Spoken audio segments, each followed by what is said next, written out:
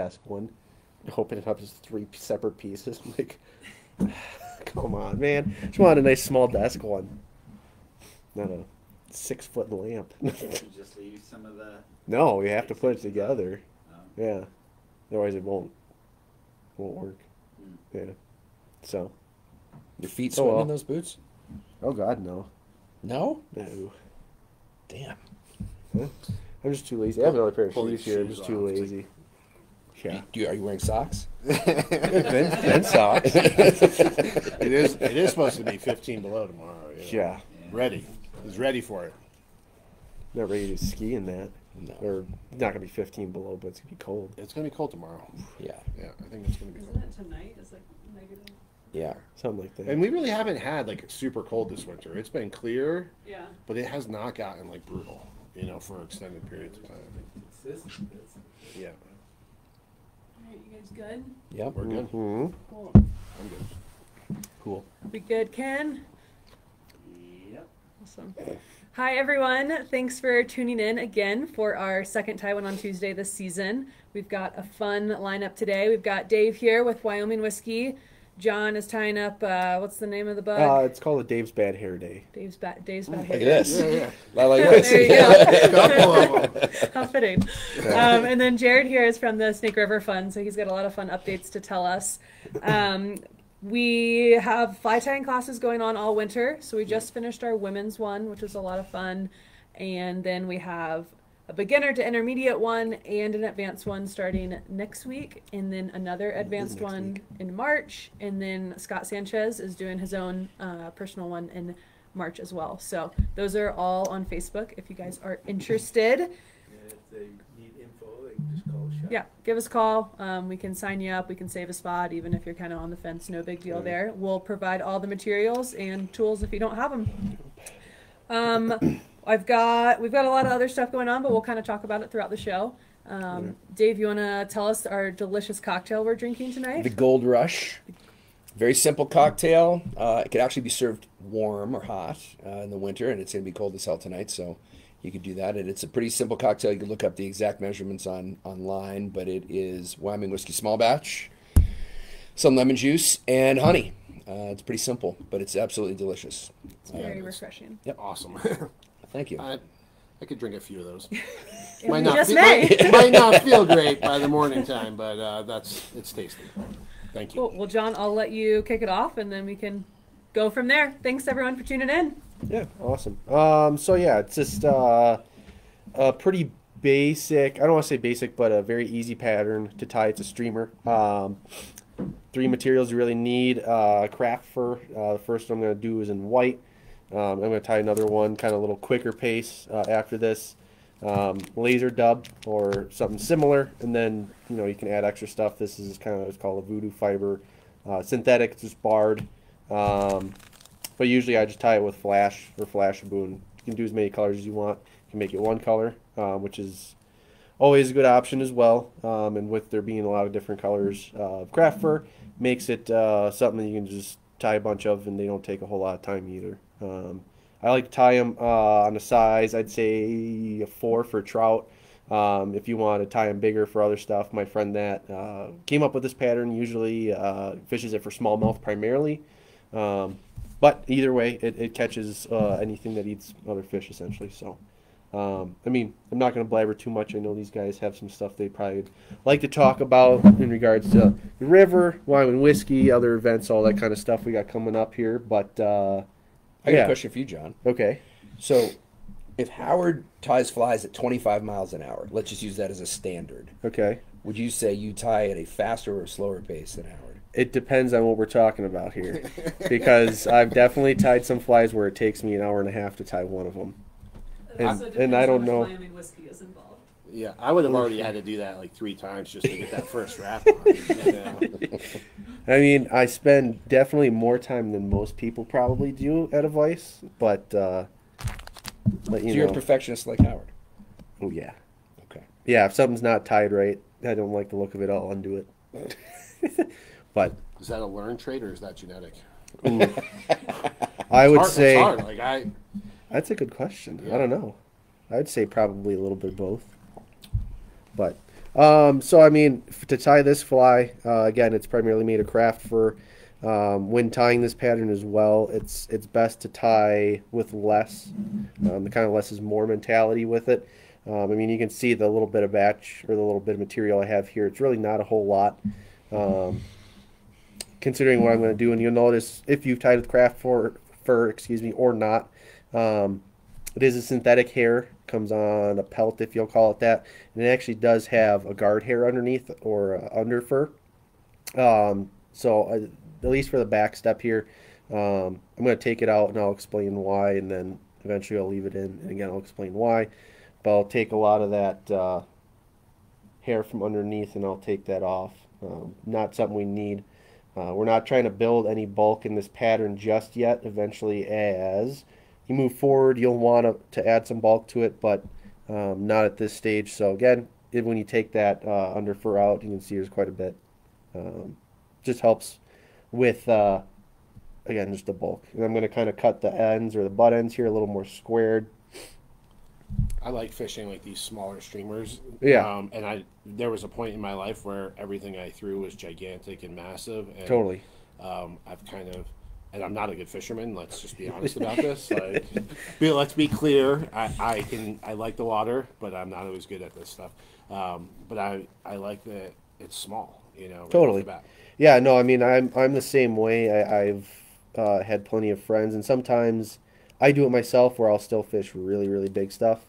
Um, but if I'm going somewhere where I've never, never fished before, or actually, um, again, just personal fishing, I don't really like fishing big stuff either. Um, especially articulated stuff kind of gets clunky in my opinion. Um, I like a little bit sparser tied stuff, smaller. Uh, I have a lot more confidence in that when I'm fishing.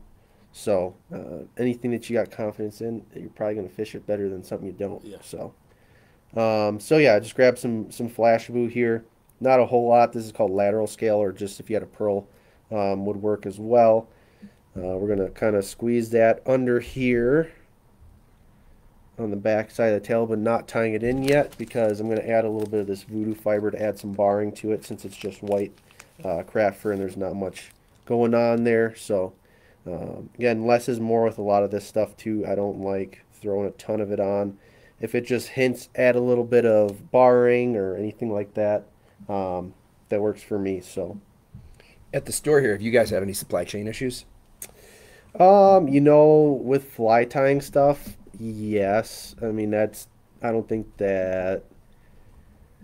Do you think that's really had anything to do with COVID on a broader spectrum? I mean, I think that's just kind of in general with more people getting into fly fishing. There's always been like some materials that are really popular that are, were just kind of hard to come by at times.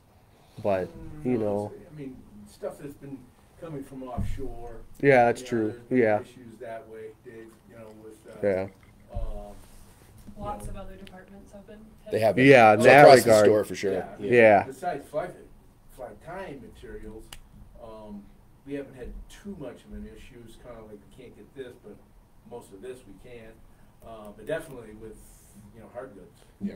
Oh, yeah. Rods, uh, uh, waders, wading shoes. Sure. Yeah. Was there an uptick in um, during like the, the peak of the pandemic um, and lockdown of people tying at home? Um, do you think like that? I'm sure there into- was.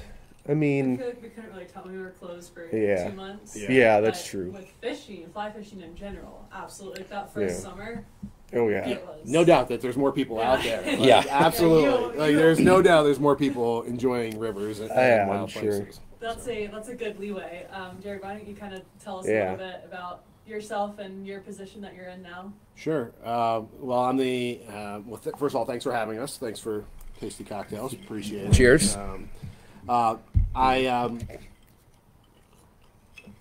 I am the executive director of the Snake River Fund, and um, we're a small organization here in Jackson, and um, we're actually, you know, into our early 20s in terms of years um, being around in the valley. And the organization was initially um, started as a, a result of a desire to potentially charge fees to access the Snake River, um, particularly on the, the national forest down in the Snake River Canyon.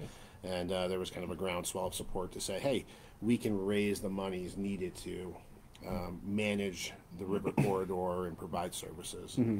You know, that was well over 20 years ago, and, and since then we've matured um, to to still support the Bridger Teton National Forest and things like that, and boat ramps and, and public access projects. But we also um, provide educational programs for kids and adults and clinics, um, whether it be you know providing swiftwater rescue education or clinics for guides and things like that. So, um, you know, at the the heart of what we do is we promote public access, uh, largely to the river um, and to its headwater tributaries. Um, but we also, you know, believe in public access just as a, as a whole to public lands, and, and so we, we do advocate for those kind of things. Um, and then we uh, work in strong partnerships with lots of other organizations to support river uh, stewardship, and um, and that's everything from trout habitat restoration projects to, um, you know, small scale, um, forward facing things like um, trying to, right now, today we submitted a grant request to, to build a, a Western Wyoming water dashboard, a mobile app to, so people can look at stream flows and temperatures and Oh, cool. things like that, turbidity. Um, so, like trying to give people more resources so that land managers and the public Yeah. can be engaged. You know, so lots of different things. So Jared, don't you find now pretty much across the board with just about most of things that you're doing and whatever, um, that being on board with other entities, Trout Unlimited and that type, that's, that's just kind of the way things are now. A- absolutely, like the kind of the secret sauce to getting things done, and, and I think it's something that the Snake River Fund is, is proud of, is that Yeah. partnerships are absolutely the key. Um, we can advocate till we're blue in the face and go and do things alone, but it doesn't have the reach without working, you know, across organizations. And in in reality, we don't we have limited budgets and limited bandwidth. And so when you work in partnership, you can use the resources and assets of your colleagues, whether it's, you know, Snake River mm-hmm. Fund, working with Trout Unlimited, working with other nonprofits, educational organizations, things like that. You can really expand your reach. And so it, it's absolutely the way the Snake River Fund gets things done. I always felt that, you know, back in the day, uh, with our outfitting business and whatever, and just what you stated there, uh, kind of how the Snake River Fund, uh, kind of got started was, you know, the Forest Service wanted to charge, um, for river access of launching boats, at boat launches and things like that, and that's how you guys started.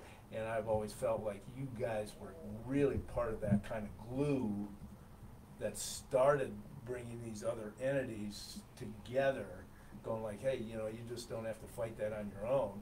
Um, let's let's get this and this and this and this and what other people are good at, Yeah. and put that all together. there, there's no doubt like there's power in numbers and so like you know just today working on this grant application to submit it that grant application while i submitted you know the application and it's leveraging funds from the snake river fund from Jackson Hole trout unlimited to public dollars and others and and you know to build out these visions on this stuff it requires you know collaboration and um, and really when it, it comes to leveraging money that's the key um, and so that's been a, um, a huge element of the River Fund. And we've had um, the last couple of years tremendous years, um, and it's great. We have great support from our outfitting um, community, and that's been historic. Um, but the private individuals have really come forward, and I think people are recognizing the, the river is a busy place, but it's also a really important place for people.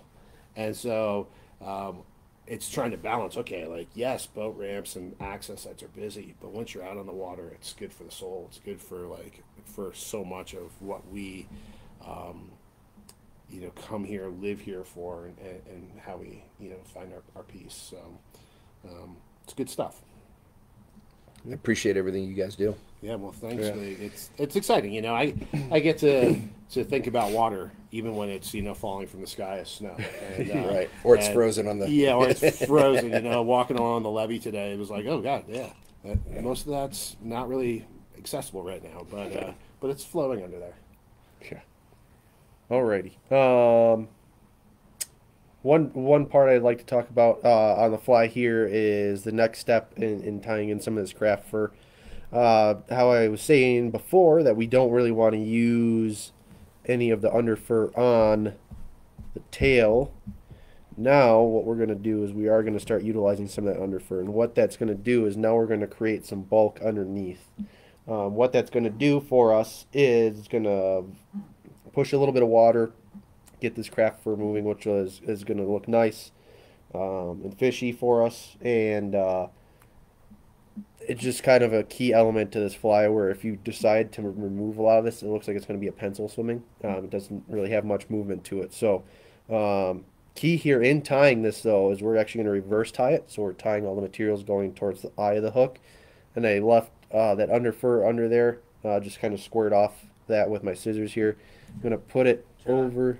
Did you, uh, did you double your, that lateral?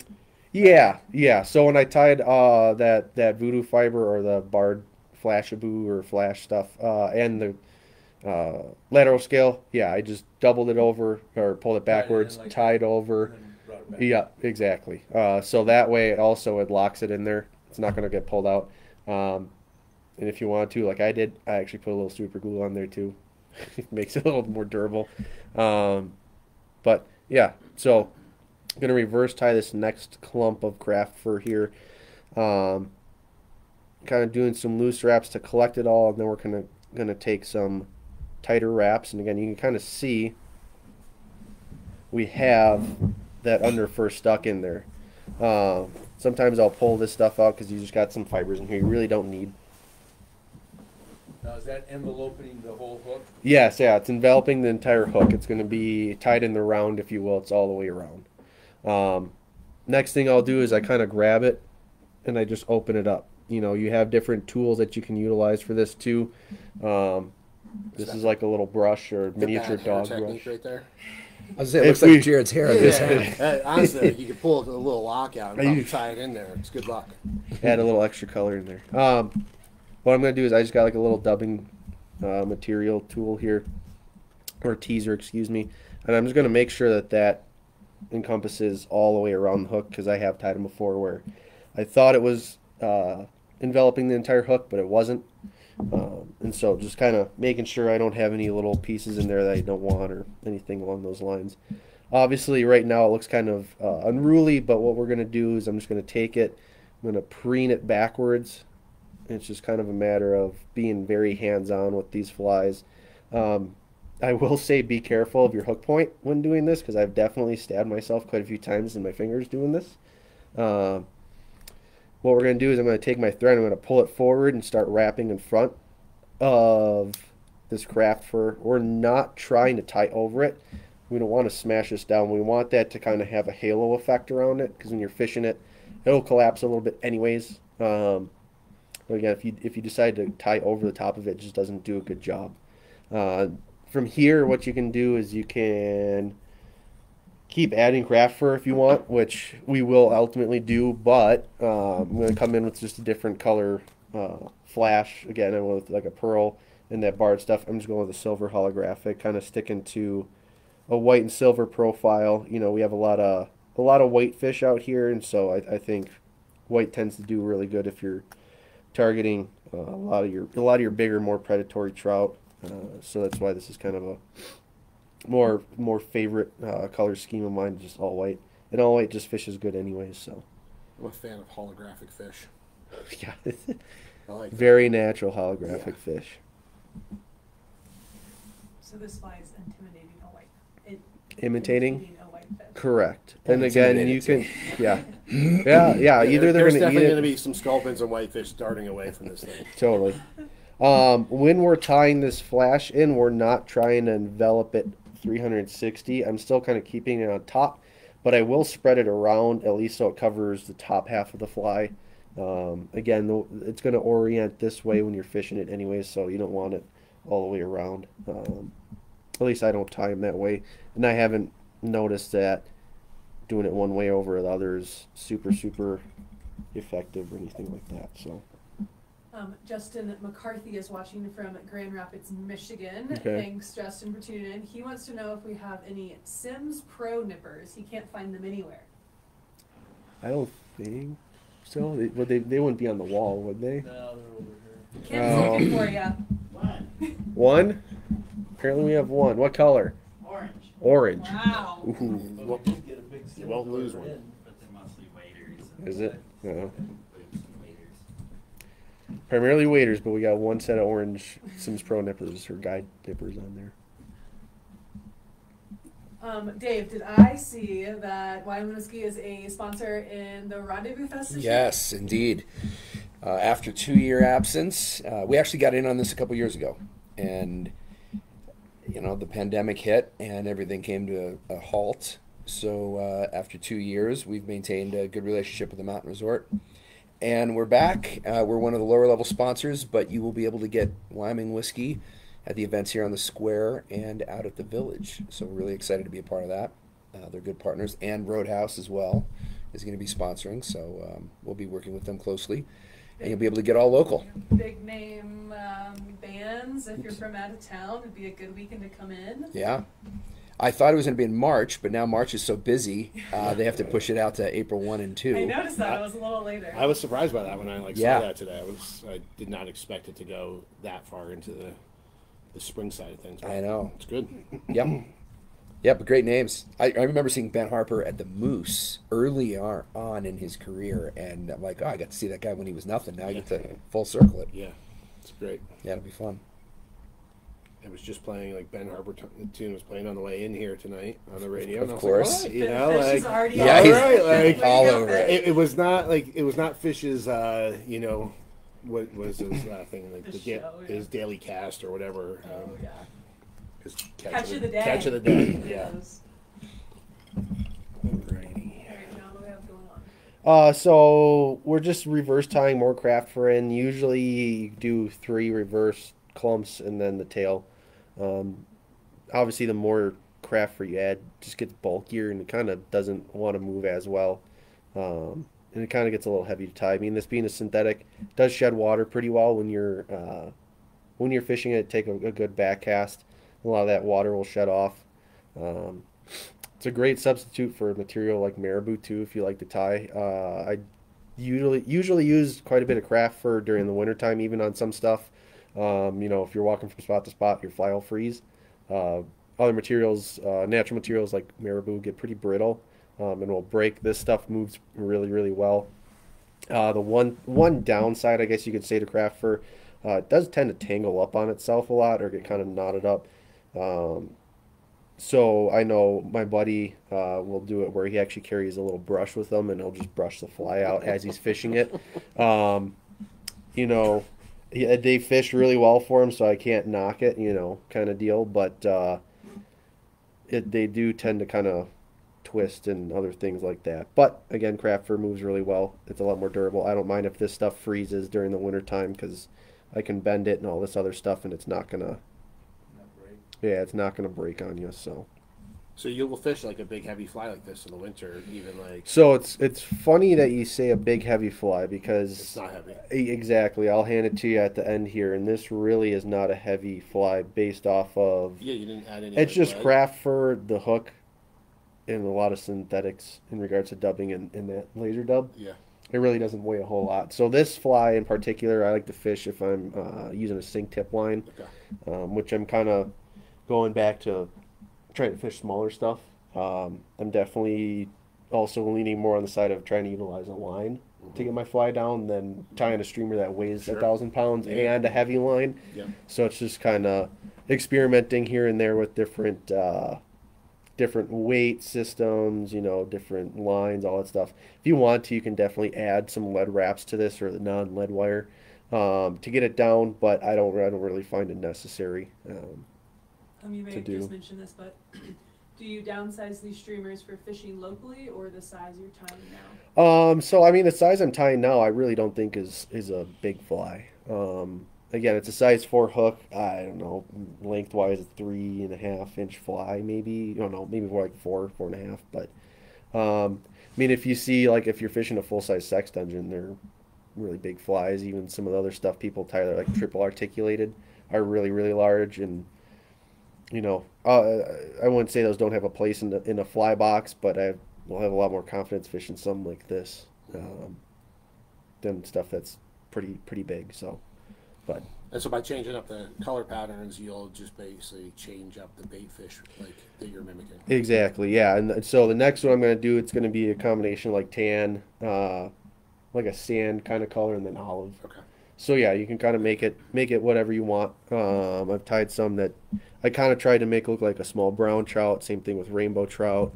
Um, all those other fun things. You know, if you think about uh, all the guys that like to fish gear, I always kind of look back at okay, what maybe if they're throwing crankbaits, what color crankbaits are working well, and try and tie stuff similar in Sure. color, anyways. Um, so it's just kind of it's something that's nice and fun to uh, and easy to tie, and you can tie it in a whole ton of different colors. I mean, This is your basic Rapala, but for the fly world. trying, trying, anyways. What about beads? Do you ever add a bead? uh, I mean, yeah, you definitely could. Again, kind of going back to weighting it, you can add a bead, you can add uh, the lead-free wraps on there. Um, Cone, yeah, cone, Yeah. lead eyes, all that kind of stuff. You know, lead eyes would give it a jigging action. The same thing with, um, same thing with throwing a bead on there, especially if you throw it up right at the eye of the hook. This I like doing unweighted because there's a lot more of a neutral buoyancy where it doesn't uh, doesn't really drop. I like it because it kind of will jerk to the side and sit. Um, I think that being able to keep it kind of in that zone of a fish is a little bit more important than kind of trying to fish stuff fast. Usually, I think you're bigger fish if you can make them mad rather than them trying to eat it out of a predatory response because they're hungry. Uh, I think that's a little bit more of something I kind of believe in than just trying to throw it in there because they want to eat it. So you're doing this most of the time with a tip? Yeah, with a sink tip line. Yep. Okay. Yeah. So then you're kind of emulating a little bit that I talked about last year with steelheading, where I don't weight my flies or anything. Yeah, you're going to utilize that tip to get. tying relatively a very sparse pattern. Yeah. Emerald line on the tip to get the Yep. fly down to the to the area that I want it to. Exactly. Yep. Yeah. And then still feel like I'm getting the movement Yeah. where I feel like if I have a lead eye or cone, I have a stagnant fly. Yeah. It's doing this. Yeah. Or this is doing. Yeah. It's undulating going forward and then it drops and absolutely. So, um, yeah, I got a lot more Turn the camera so confidence in that. Undulate. Hey, I yeah, yeah. See all hand, Howard's hand mo- motions and gestures here. So I got a question for you, Jared. Yes. We were talking a little bit earlier about challenges, you know, during COVID and stocking the shelves or whatever. Have you did you see anything in particular that was a, a, challenge for your organization?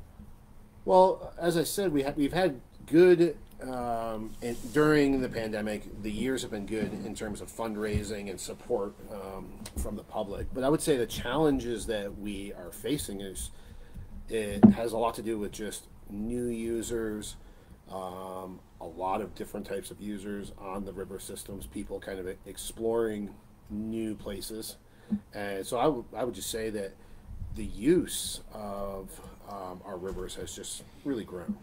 And, um, and so I don't know if that's a, a challenge or a problem, but trying to educate people about good stewardship and good ethics and um, How do you and- do and- that? And, Because-. Well, Man, the frustrations we've all felt over the last couple of years has been profound. Yeah, absolutely, and and we all you know share etiquette with people in other elements of our lives. Like you know whether it's you're playing golf or you're at the ski hill and, and stuff, and there's always going to be somebody out there that's going to push your buttons, or you're just going to shake your head.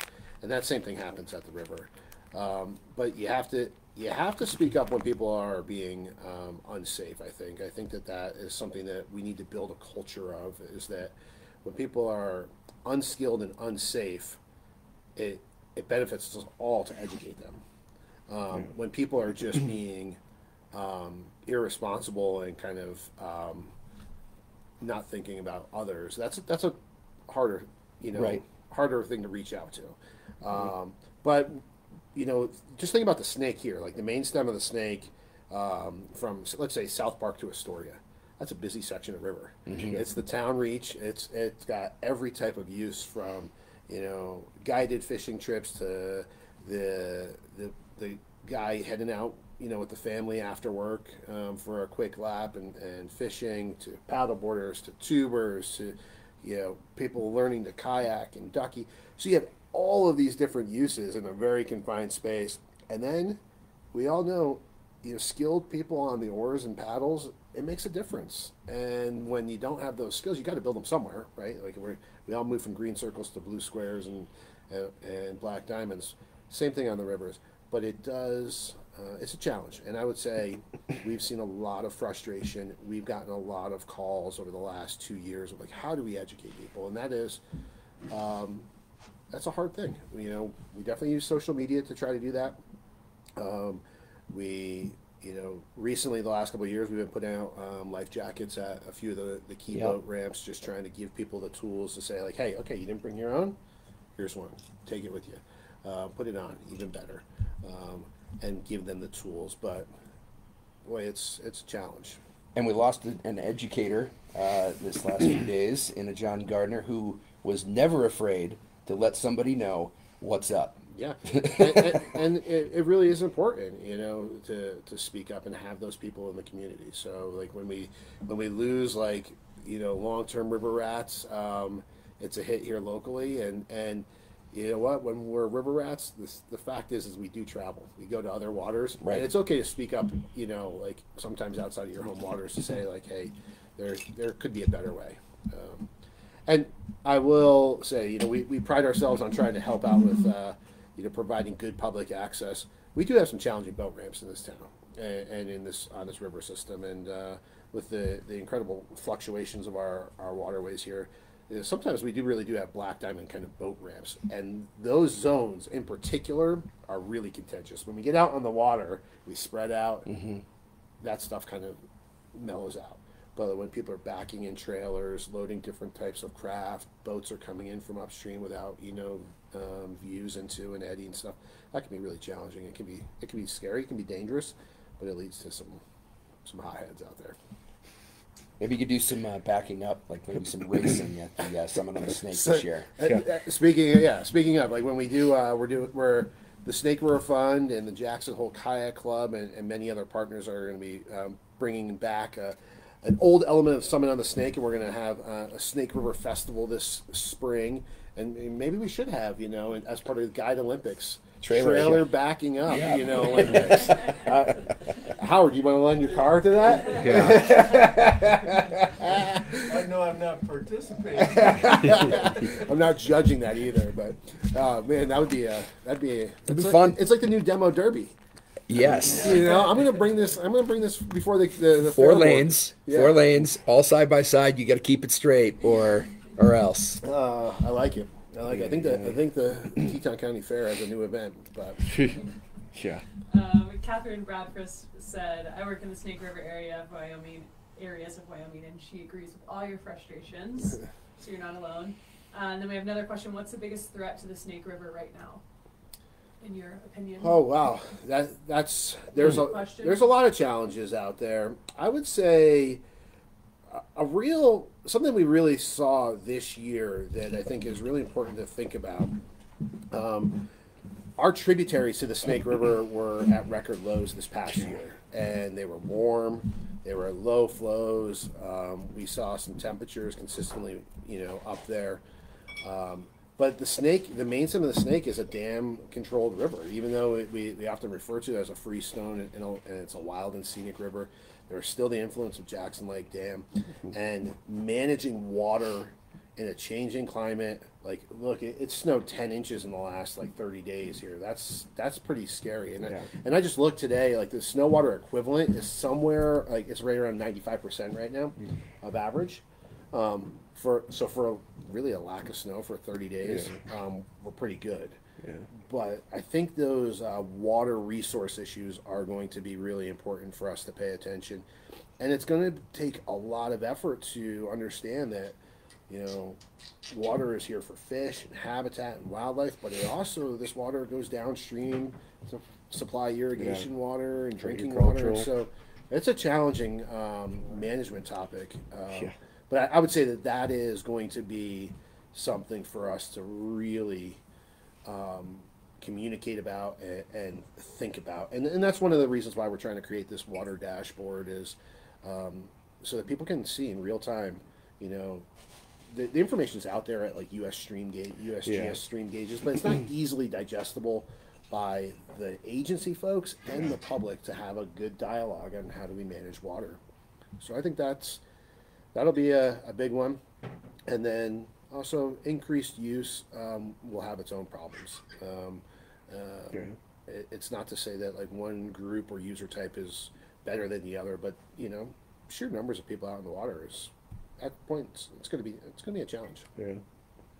Yeah, there's a lot of people out there. I, I, yeah, I wouldn't go. I wouldn't necessarily go put it- fly fishing on July fourth No. from South Park to Astoria. Um, No. That might not be the, the, Or the get on the river. yeah the reach of water. Yeah. Um, you might want to choose a, a smaller backcountry stream at that point. Yeah, if you can. Yeah. But All right, John, what do we miss uh, you doing there? uh, so the last thing I, I'm doing here is I'm just putting some Senyo's laser dub uh, around the head, again encompassing the whole hook here, or tying in the round. So um, for the length of the material, uh, I just tied it kind of at the halfway point, um, just to build up a little bit more bulk in the head to get that tail or the back part of the craft fur here to really move um, while I'm fishing. So uh, again, I have it tied backwards. All I'm going to do is again just kind of making sure it encompasses the whole hook here. Making sure Dave's hair is real, real rough. At least Mhm. somewhat, somewhat kept up here, not so rowdy. Using a brush and not a comb. Yeah, for for this. Looks like an old gun brush. Is it specifically for like the hair and dubbing and stuff? Or Uh, so yeah, I mean it's designed for time flies. It's Okay. called a dubbing brush. Um, just, yeah, just kind of like a plastic or a hard plastic bristle. 223 rifle. Exactly. yeah. Um, so yeah, now I'll just preen the materials backwards again, kind of just brushing it out to break stuff apart so it doesn't get trapped. Um, just kind of moving my thread around so I don't hopefully break my thread. Kind of looks a little unruly, but that's all right. Once you get it fishing, you'll see why. It doesn't doesn't matter that it looks all unruly at this point. So all we're gonna do at this point now is I'm just gonna whip finish kind of again holding everything backwards so I'm not trapping anything. I'm gonna do another set of whip finishes. I always like to do at least two sets of three whip finishes. Maybe I'll do a little bit more sometimes. Uh, I think that holds a little bit better than head cement. Um, I don't think I've had a fly come apart in a very long time since I've started doing it this way. Uh, compared to when I used to just do a very quick whip finish and then put head cement down there. So, but that's the finished fly. I mean, again, I don't think it's a very very complex tie. Um, it's a very just kind of uh, generic looking big fish profile where it's got a bigger head. Then obviously it tapers down to the tail. A lot of that flash is going to move nicely for you. Um, you can tie them articulated if you want to. I, I've my friend Dave has done it. Uh, usually he'll do it that way for like largemouth bass back in Wisconsin, where they don't have an issue eating bigger flies or pike. But I mean something like that, I have no problem fishing for trout out here. Um, again, small white fish. The next one could add different colors of flash, like pinks and stuff in there for maybe a rainbow trout, which maybe I'll do. Um, which is kind of very general. You're right. It is light. It's you know, Yeah, it's there's like nothing to it. yeah, it's it's definitely like dainty. You want to sit, Howard? No, no, it's fine. Um, no, so for the folks that were thinking possibly this is a pretty big fly Oh yeah, uh, compared to yeah. This this guy. and with all the weight and all the bulk. Yeah, I mean it's it's a little bit bigger this guy, but it's also got lead eyes in there, a, a head that's going to absorb quite a bit of water. Same with the marabou, rubber legs in there, stuff like that. Where that um, Yeah. yeah, something along those lines. But um, yeah, this is going to be ten times lighter to cast, um, which is which is key for me. If you're going to be fishing, uh, at least streamers all day, uh, the lighter. I was just gonna say that the, I think the lighter the fly, the little bit better. Yeah, your arm's not gonna get quite as tired at the end of the day. So to me, it looks like Einstein's hair That's a uh, beaut. instead of Dave's hair. yeah. Well, Oh, the, Dave's got hair like the hair. All right. so the, Man, the other thing to keep in mind there too for when you're streamer fishing, you know, uh, a fish, especially a trout, will eat the entity the third the size of his body. yeah, So, you know, a 16 inch fish will eat that in a heartbeat. yeah, yeah. They won't have any issue with with doing that. All right, let me are there some 16 different. inch fish out there, Howard? Pretty much everything we see when people come in, everything's 19 inches. 19 Right. inches, just just under 20. It was almost touching it. Yeah. Um, 18, I don't know where 18 went, but everything's 19 now. I'll tell you though, I've gone out with um, Wyoming Game and Fish a couple of times to do some electrofishing, and I am amazed at some of the fish that come up. And now, granted, Totally. it's electricity that's helping. You know, like, Yeah. Um, but like, I, I've seen some fish in the snake where I like I've never seen a fish like that on my fly. It's not, it's not possible that thing Yeah. lives in there. I've cast in that hole hundreds of times. Right. Like, where where have you been? So. Do you ever glue eyes on that fly? I don't. I, I guess you could if you really wanted to. Um, I don't think it's a necessity. Um, but if it also makes you fish it with more confidence, um, I'd say go for it. So, So back to the measurement thing. uh oh. I think I, I think to keep well, let me start off by saying I think the difference between a good and a great fish is 20 inches. If you catch a 20 inch fish, you've done something, right? And it's really easy for an angler to say, you know, oh, it was definitely a 20, right? When it was probably like a 17 and a half or something, right? So I kept telling myself, I need to be able to know on the fly quickly whether or not I've got a 20 inch fish. And so the only tattoo that I've ever gotten in my life Uh oh. are those two dots, which are exactly 20 inches from, the tip of my finger. Oh my god. So I can tell you quickly whether or not I've stuck a 20 incher or not. Ha- and ha- has it ever worked? Have you? I've have used reached- it a hundred times, and I would say 90 of those times it wasn't 20. Yeah. yeah. Yeah. That's amazing. I like it. That's a that's a good mark right there. Yeah. Like, yeah. No one would ever know it's a tattoo either. Yeah. That's the goal. Um, so we kind of talked about Snake River Fund's been around for almost 25 years. Yeah, we're he- we're heading towards twenty five now. High Country is how we're having our 50th anniversary this year, 2022. Um, and then Yellowstone's having the 150th anniversary, right, Dave? And y'all did a That's correct. special little whiskey, right? Yeah, we started out last year with um, our first national parks endeavor, where we donated a significant amount of money to the National Park Foundation, and that was for the benefit of all parks uh, across the country. And our our kind of saying is like wide open spaces. That's the Wyoming whiskey theme right now, and what we're targeting and outdoorsmen. And one of my goals this year is to target more Trout Unlimited, you know, uh, Mule Deer Foundation, and, and really get into th those worlds and donate money there, and, and hopefully expose them to some some whiskey that's not Canadian. Um, but this year is a follow up to last year, where we are sponsoring specifically Yellowstone Forever and their support of Yellowstone National Park, which turns 150 this year. So we're donating 150,000 bucks uh, to them, and we're going to be earmarking that for some specific purposes in the park. Uh, so it'll be steered in that direction, but we'll be offering a, um, a very limited edition uh, that'll be available starting on the 150th anniversary, right when the park opens, basically, and it'll be available in the park um, through Delaware North, you know, and all of their um, all of their stores will be available in the Wyoming Liquor Division and around the country in, in different a few different markets. Um, but we're really excited about it. Last year's was a huge success. People love the whiskey itself. What They love. did you do last year? Uh, it was just general. Um, we we featured the Tetons. This uh, Tuck Fauntleroy was our photographer, and we wanted to do it from the air. So we took photos from the air. I think he took about six or seven different flights in October from a few years ago when it was particularly snowy.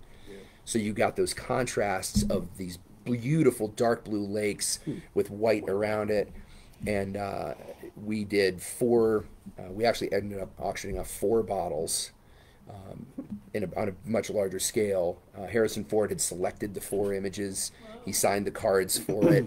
Uh, he was very generous with his time and whatnot. It was kind of cool getting to know him. But uh, we auctioned those four bottles off, and then we had a fifth bottle that was available for the the masses, so to speak, and that was of the Tetons, taken from like up over Moran, you know, looking south. So it was a very cool shot. Well, Ken's got some good pictures of Yellowstone if you need it. We might hit you up. Ken Takata Photography, everyone look it up. Yeah. That's awesome. Don't ask him Yeah. about it. Yeah, We're- it, it's awesome to be able to support the parks that like that are the the reason why so many of us choose to live here or have been fortunate to be here.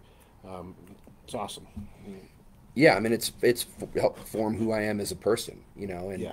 I could think of one of the proudest fish I ever caught in my life was in the Yellowstone. Um, I was a pretty young angler. I'd only been out here a year or two, and I was with a buddy of mine, and I ended up trying every fly in the book to try to catch this rising trout. And finally, it was I found a nymph, this just furry little tiny nymph that I floated, and it worked. And I it, it was 19 actually. We measured it, uh, but it was the most Pre-tattoo or post-tattoo? pre pre. Um, but I, you know, you have those things on your rod that Yeah. you glue to the, and uh, it was one of the most beautiful cutthroat I've ever seen in my life. Dark, you know, just beautiful. And uh, so I think about that and all the experience I've had in Yellowstone and in Tetons and whatnot. So it's important to me personally, but I think it really fits with the brand DNA of Wyoming whiskey. Yeah. You know, the whole wide open spaces thing. If you think about the Mead family and their history here, and um, interestingly, I don't know if you guys know this, but Senator Hansen, who was Brad's grandfather, two-term U.S. senator and governor of Wyoming, he initially fought the formation of Grand Teton National Park. I mean, he was on the cover of Time magazine. I think might have even been holding a rifle across his chest, saying, "You know, over my dead body," type of thing. And he later came out and, and uh, admitted he was wrong. Yeah, what like what an, an amazing point like to to make is that he you know reflected later on in life um, to say, wow, the the vision here was tremendous, and I made a mistake by you know opposing it, and now look at like Right. the benefit. Yep. Yeah, absolutely. It's, it's unbelievable. I I've um, had many great fishing experiences in both Grand Teton and Yellowstone, but like I'll I'll never forget like taking my mom to fish like up on the Lamar confluence of Lamar and Soda Butte Creek and walking out, kind of moving between bison herds and going down to the river and being like, all right, like there's some cool pocket water here, some big old Yeah. erratics, like you just got to make like a good cast and you got to be ready and like to watch my mom you know set the hook and be like all right you just did it and it'd be like this gorgeous Yep. yellowstone cutthroat was pretty pretty powerful stuff like never forget it Yep. So anyway, we're just happy to be a part of that, and uh, you know, it, through our partnership with Edrington, uh, they really encourage us to step up our game because Brad, Kate, and I had always donated, you know, on smaller scale stuff, um, and then Edrington came in, and they're owned actually by a charitable trust. So every dollar of profit that they bring is, is given away, wow and so we were. Uh, and are they a marketing partner uh, like uh, no, so Edrington owns Macallan Scotch. okay uh, along with uh, Brugal Rum, uh, Glenrothes, Highland Park, etc. And they invested in us a few years ago, and um, it, it was an honor to be chosen as their American whiskey horse, so to speak. yeah And uh, it's been fun. I've learned a lot. I've learned a lot about big business yeah and how uh, it brings a level of sophistication that is really helpful in a lot of instances. absolutely And uh, I've learned about big business and knowing that uh, I would never want to be a true part of it. I, I, could, I couldn't, I don't think I could work, you know, in that organization, it, it, any organization like that. But they're great, but are there tough. thresholds that like declare like small batch distillery versus you know big batch like how much does wyoming whiskey produce in a, in a year like We're producing a lot more thanks to Edrington um, because they, you know, they have a tremendous commercial team and and marketing, you know, reach, and uh, as a result, you know, we're maxing out, you know, at this point. You know, we have no extra. yeah And what we're bottling today was actually put in a barrel five plus years ago. yeah And uh, so it's they're also challenging us to do much more stock modeling long term. Sure. How much are we laying down today because we expect to be selling X amount in five years. How much of that do we want to be holding for aged product? You know that it's going to be much older. yeah You know, which at this point, any really old stuff that we have now is almost by accident.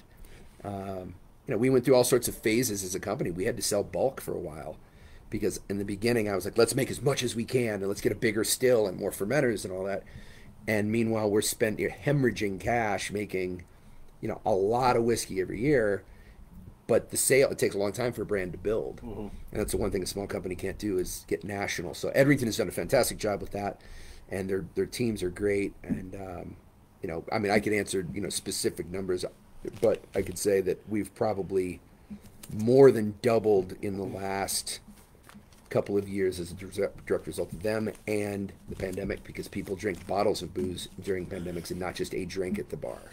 Yeah, absolutely. I can say my first uh, Wyoming whiskey was right when you guys first released, and we were going to cut a Christmas tree. I feel like it was like the the, re- the release was like right around like that fall holiday. time. December 1, yep. Yeah, and uh, we were all heading up to to Cliff Creek, and um, out my buddy Brad popped out of his truck with two bottles of Wyoming whiskey because I think that's all that you would like allow at the at the release was like something like that. He's like, "Here we go."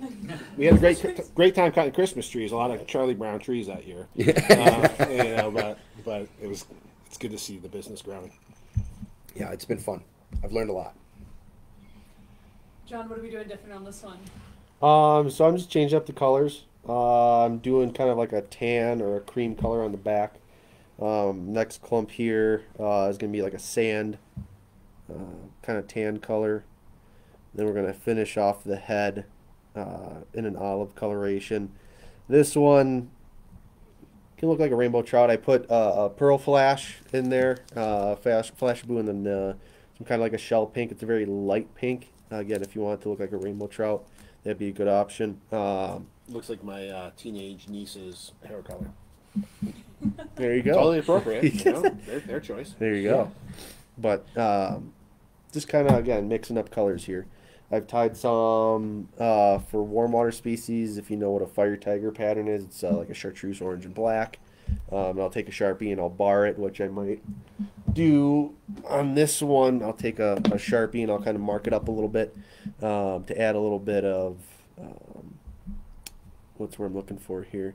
Just a little bit different uh, separation in colors, uh, a little bit darker spots, kind of gives you a little di- different contrast and stuff like that. So.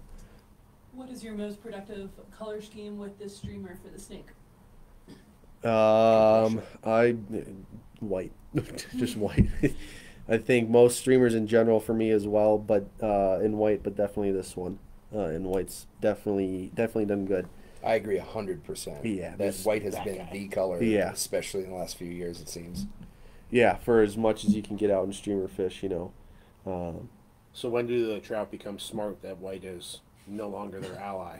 I feel like they're they've realized it on like circus peanuts and some other things. I think circus peanuts. Yeah, you got to mix it up if you're gonna fish a circus peanut. Um, I mean, I don't know. That's a good. That's a good question. When they kind of get smart and wise to white, I don't know. Huh?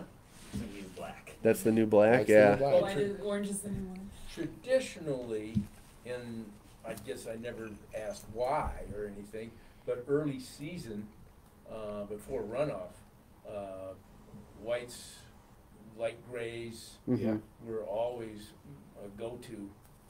Uh, not only just for here, uh, also down the Pinedale area, uh, but uh, especially especially here. And this color combo, I would probably have kept this pretty much white and just done a little olive Yeah. uh, for that early season. Um, was always traditionally uh, great for the snake. And I never am I doing a whitefish? Am I doing a I Yeah. don't know. Yeah. That color just worked. Mhm. Yeah, this You thing gotta says know. this thing says like big brown trout on the green. Oh yeah. Yep.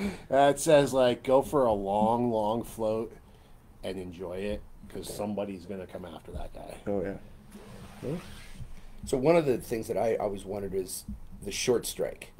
Mhm. You know, like I I've definitely been in a phase where I like the articulated bug. If not just like tying a stinger into the back, you know, of it, because I find that I will get the short strike periodically. But Yeah. it's probably my fault and how I'm fishing the fly or something. But what are your thoughts on? I mean, uh, I think sometimes when you get those short strikes, those fish really don't wanna. They're not. They're not committed to it.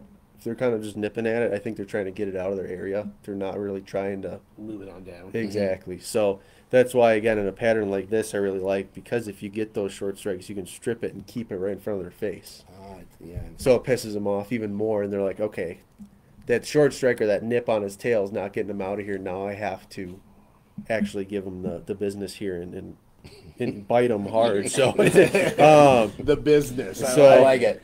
so that's that's my thought process on streamer fishing, which again, kind of why I'm digressing from fishing these big articulated heavy guys, and trying to utilize my sinking line or the sink tip line to fish that fly. I can keep it in a certain zone longer, uh, all that kind of stuff. I think uh, plays a bigger role with streamer fishing, anyways.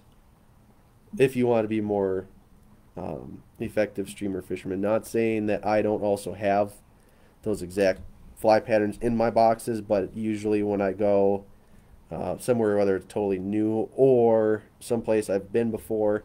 Usually I'll grab stuff like this first, and that's kind of the last resort where um, kind of getting desperate for, for a fish to eat. So it's just something a little different here. Where do you want to go? That's someplace new. Oof, I mean, there's I a asked lot that. You know, I asked this, this question of like my uh, my board um, at our annual retreat um, a year ago. I said, you know, like we we're fortunate. We we think and and love about like about rivers all over the place. Where do you want to go? And uh, man, I got some amazing responses from people that have Where do you had want to go? incredible experiences on rivers locally and around the globe. Yeah, I mean, there's, I don't know. That's a very good question. I don't have, in locally wise, d- never really spent that much time on the green. Mm. Definitely would love to fish the green more. Yep. Um, Oh, get creative. Come on. putting too much pressure on me.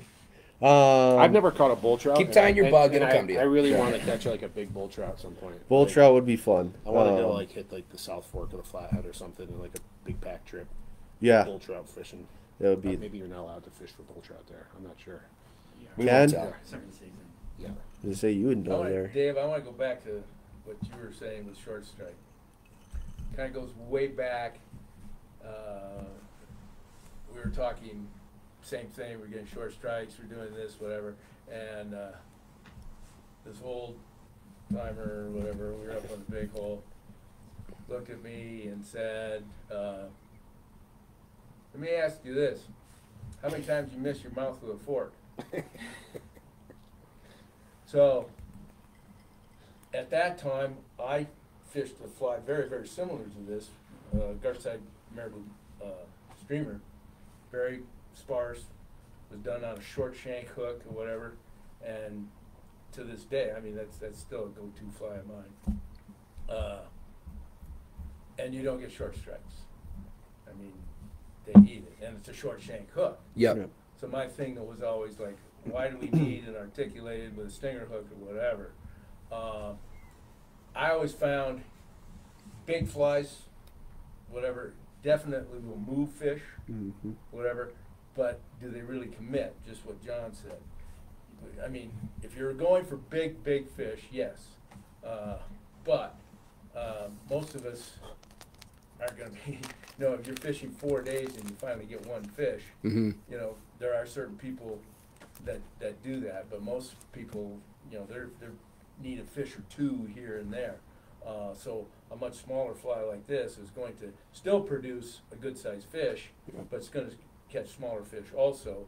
Um, but going back with what John said, my theory always was, if I'm getting a fish that's short striking consistently, I'm moving fish, seeing it come and follow, whatever, but not really taking, there's something the matter with that fly. Either I'm fishing too big or, or there's, there's something the matter, it's, it's, it's not committed. Because just like you said, I mean, if they want it, they don't miss it. Yeah. I, I guess I've always wanted to tie that stinger in uh, just to help those uh, fish with commitment issues commit. just in case there's any question, let's make sure we got them. Yeah. But I hear you. That's a great point. And, and that's a great point. And I, and I have been fishing smaller streamers. I went through that huge. I'm not a great fly tire, but I've tied those bigger dungeon type bugs, Yeah. and because they're easier to tie, you can make mistakes on them. They don't show like this thing would show much more. Um, but now I'm getting into the smaller streamers and like seeing this bug. This is a great education for me. But yeah, uh, that's just. I I have a lot more confidence fishing something like this where I can, I can actually fish the fly. I think that's another big thing too. Um, when it comes to guys that like to streamer fish is, and I'm very guilty of this too. Usually, if I fish a streamer, it's all about I have in the bow is my seven weight and eight weight done. Because I'm also that guy who'll fish that for an hour and be like, oh, there's a five weight with a nymph rig right there. I haven't caught a fish in the last hour. Okay, I'm going to start fishing that. Mm-hmm. But I think committing to fishing specifically a streamer also makes you a better streamer fisherman from the aspect of like you have to learn how to fish your fly. You just can't strip, strip, strip. It's not just a very repetitive motion. You got to put the rod tip over here, twitch the rod tip. Okay, this way, do it this way. Now dump some line so it dry. Like just a lot. You have to be able to Swim adjust. Yeah, you have to fish the fly. You Yeah. can't just throw it out there and hope for the best. You have to Well, one of the things that you were talking about, like keeping that right in front of their face. Yeah. So the Jimmy Jones, the JJ special, when that came up, and that was totally fished totally different. I was fishing with guy guided up on the Bighorn forever, and after like three or four strips coming away, he's like, "Why do you keep doing that?" Uh, because you know if there's fish there, he would have taken it by now. Just get back on out there. Well, we weren't doing that with Jimmy Jones special, uh, uh, JJ special. Is you know it had the rubber legs, whatever, and nobody was doing stuff that we were doing. We were casting it in, leaving it in there, and doing a twitch Yeah. like this, where that fly is coming down along the bank, having those rubber legs go boom, boom, boom, not coming away from the bank, because as you go like Yeah. that, you give it line instead of stripping it in. Mhm. Yeah. So it's coming along the bank, going boom, boom, boom, boom, like that. You know, eventually it gets towards the end, then it's coming away. But back in those days, nobody was f- fishing streamers. I, I had Yeah. a, an amazing experience this fall where I was out on the river with uh, Gene and Paul Brune, and uh, Paul basically said the same thing to me. He's like, Jared, he's like, "You- you're casting that thing great, you know, and stripping it well, but like, how about try this technique? And he's like, just basically put the rod tip to the water and let it bounce and pulse.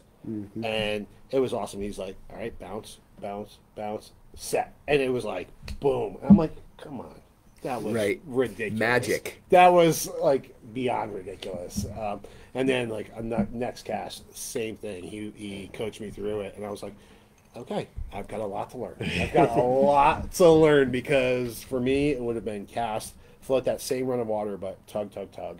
Yeah. And it was a total different style of fishing a streamer, and you know what? I wasn't catching fish before that moment, and then I started catching fish, and it was awesome.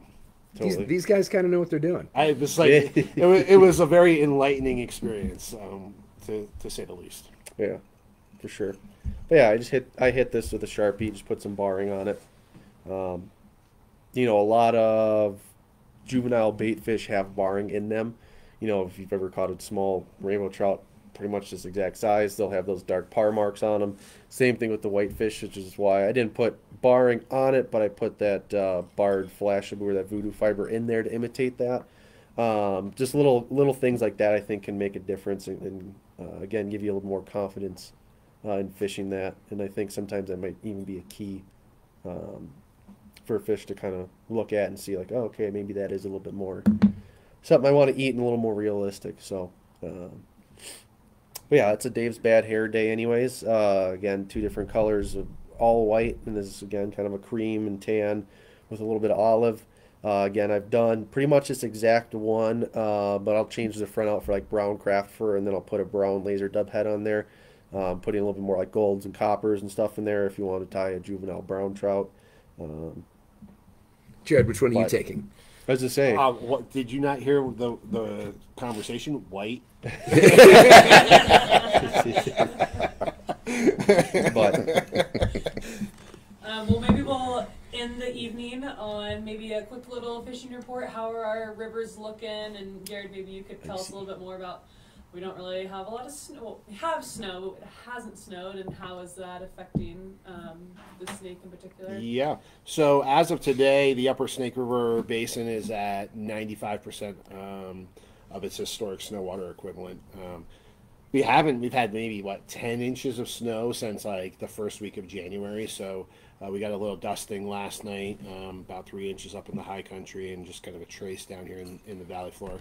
So I would say we all need to do our snow dance and um, Sure. and hope for water in the high country and on the valley floor. Um, we need that snow down low too. Um, and you know we're, we can't forget that last fall Palisades Reservoir was drawn down to historic lows. Uh, Jackson Lake um, was drawn down to historic lows. So these these water bodies need to recharge, and so do the tributaries. And so I can't speak to the fishing because I haven't been fishing since um, right around uh, the first week of November, which was a great day on Jackson Lake. Um, but um, we need water and we need snow. Um, so let's keep our fingers crossed that we do have a heavy February. It's, uh, it's a little skinny right now. It happened last year It in a big year. way. Yeah. Well, Yep. So, and and I think it's important to recognize that um, our historic snowfall patterns may be shifting. Right, we may be seeing snow at different months and, and different um, water quantities, and uh, and just with like the snowfall, also our runoff is happening a little earlier. So, Yeah. like the whole system is is changing, and and we as individuals, whether it's we're out there fishing or just enjoying rivers, um, need to be aware of that. But like so do our water managers and, and users in this valley and on downstream through the system. We're, we're gonna have Yeah. to make some changes.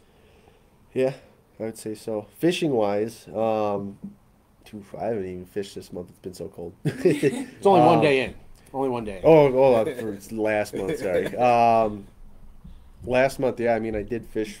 I think one day, and it didn't pan out on the on the upper snake here, but that's all right. I think if you if you want to get out and fish, you definitely having to drive elsewhere. Um, South Fork and Henry's Fork, um, even even beyond that, I'm sure if you really wanted to. But typical winter stuff, midges, you know. Um, if you're going deeper, you know, nymphs, Pat's rubber legs, even midges, just small stuff light tippet. I don't think anything changes from there. When was uh, when was the last time you went out, Ken? Sunday, Sunday. How was it? too cold. Too cold? Too cold. Exactly. I think it's okay to say that you don't fish right now. I think that's all right. It's it's Yeah. ski season. It's January, February, coldest time of the year. Yeah. We've had three weeks of, like Jared, like you said, we haven't had three weeks of really, really cold weather, No. but we've had three weeks of consistently cold weather. Daytime Yeah. temperatures, not much reason, uh, reaching 20. Yeah. Um, so, you know, until things start loosening up here a little bit uh, for our valley, it, it's going to be a little bit. I mean, you can pick the day. Yeah. Yeah. Um, The hour. Yeah. Well, I mean, it's Yeah. winter fishing, so typically, you know, it's going to be 11 to 3 anyway. Yep. Yeah. Uh, and 11's going to be extreme, 3 probably going to be extreme. But, uh, yeah, so it's just the way it is. Um, you know, like you said, um, last year at this time over in South Fork, Henry's Fork, Yeah. it was it was going. Yeah. Um, you had a couple of days over Ken on the Henry's Fork. Henry's Fork, yeah. That was pretty decent, whatever. But again, it's been cold over there now too. Yeah. Yeah. So until things start breaking up here, I mean, we're only a week or two. I mean, it's February. Yeah. Yeah. I can say, like, driving into the shop tonight at 6 o'clock, coming in from the West Bank, there's still light down south over Munger and, Mhm. like, North Fork of Fall Creek. Like, that Alpenglow was still happening at 6 o'clock. So the days are starting to, Yeah. to lengthen a little bit, Yeah. and you can, and, and I feel like you can feel it a little bit, too, even though the temperatures are cold. Yeah. For sure.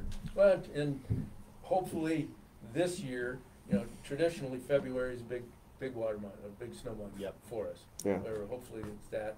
Um, but year after year, I mean, push comes to shove, it's April. Yeah. April, early May, um, is, you know, last year, March turned 50, 60 degrees.